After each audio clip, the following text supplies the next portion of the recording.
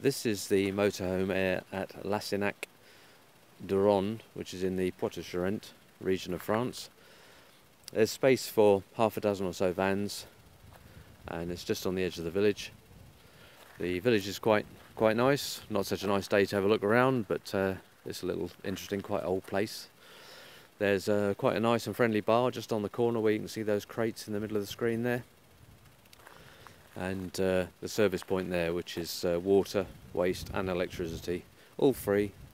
Parking's free, and there is a track just down beyond the motorhomes there that leads down to one of the leisure lakes. So it's very pleasant. This and all the other stopovers we list are on the Club Motorhome website at www.clubmotorhome.co.uk. Cheers for now.